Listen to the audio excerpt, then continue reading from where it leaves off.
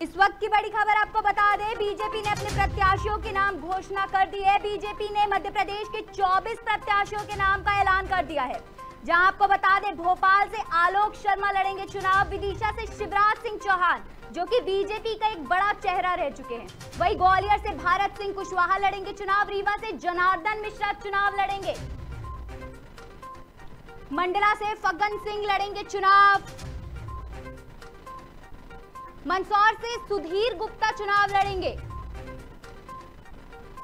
मध्य प्रदेश से बीजेपी के 24 प्रत्याशियों के नाम का ऐलान हो गया है।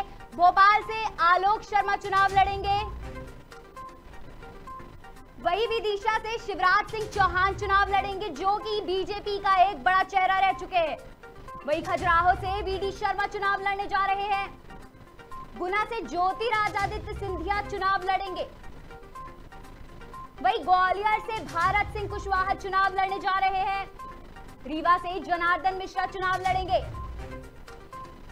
बता दें मध्य प्रदेश से बीजेपी के 24 प्रत्याशियों के नाम का ऐलान हो चुका है, जहाँ भोपाल से आलोक शर्मा चुनाव लड़ने जा रहे हैं। विदिशा से बीजेपी का बड़ा चेहरा शिवराज सिंह चौहान चुनाव लड़ेंगे। वही खजुराहो से वीडी शर्मा चुनाव लड़ने जा रहे हैं। गुना से ज्योतिरादित्य सिंधिया भी लड़ेंगे चुनाव, ग्वालियर से भारत सिंह कुशवाहा भी चुनाव लड़ेंगे। रीवा से जनार्दन मिश्रा चुनाव लड़ने जा रहे हैं वही मंडला से फग्गन सिंह लड़ेंगे चुनाव।